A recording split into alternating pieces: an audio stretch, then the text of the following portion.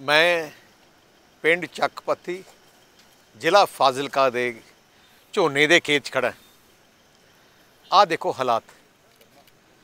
ਸਾਰਾ ਝੋਨਾ ਸੁੱਕਿਆ ਪਿਆ ਨਹਿਰੀ ਪਾਣੀ ਬੰਦ ਹੈ।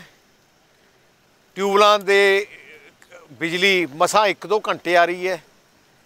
ਆ ਜਿਹੜਾ ਦਿਖਾ ਰਿਹਾ ਤੁਹਾਨੂੰ ਖੇਤ, ਇਹ ਜੇ ਲੱਖਾਂ ਏਕੜ ਜ਼ਮੀਨ ਦੀ ਆ ਹਾਲਾਤ ਹੋਈ ਪਈ ਹੈ।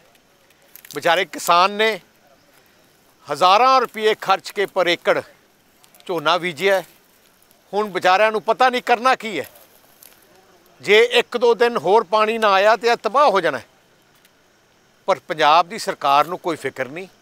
ਕੈਪਟਨ ਅਮਰਿੰਦਰ ਸਿੰਘ ਕੁਰਸੀ ਬਚਾਉਣ ਤੇ ਲੱਗੇ ਹੈ। ਬਿਜਲੀ ਦਾ ਪ੍ਰਬੰਧ ਕਰ ਨਹੀਂ ਰਹੇ। ਨਹਿਰੀ ਪਾਣੀ ਦਾ ਪ੍ਰਬੰਧ ਭੇਜ ਨਹੀਂ ਰਹੇ। ਨਾ ਕਰ ਰਹੇ ਆ, ਨਾ ਪਾਣੀ ਇੱਥੇ ਭੇਜ ਰਿਹਾ ਹੈ।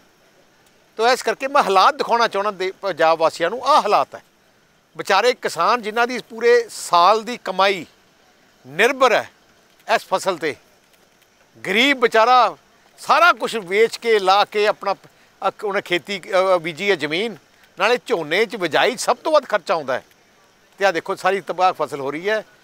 ਇਹ ਤੋਂ ਮਾੜੀ ਸਰਕਾਰ ਕਿਹੜੀ ਹੋ ਸਕਦੀ ਹੈ? ਮੈਂ ਕੈਪਟਨ ਸਾਹਿਬ ਜੇ ਤੁਸੀਂ ਮੈਨੂੰ ਦੇਖ ਰਹੇ ਹੋ ਮੈਨੂੰ ਪਤਾ ਤੁਸੀਂ ਤਾਂ ਆਪਣੇ ਫਾਰਮ ਹਾਊਸ 'ਚ ਏਸੀ ਛੱਡ ਕੇ ਬੈਠੇ ਹੋ। ਪਰ ਟੀਵੀ ਰਾਹੀਂ ਜੇ ਤੁਸੀਂ ਟੀਵੀ ਲਾਈ ਆ ਦੇਖੋ ਆਹ ਹਾਲਾਤ ਹੈ।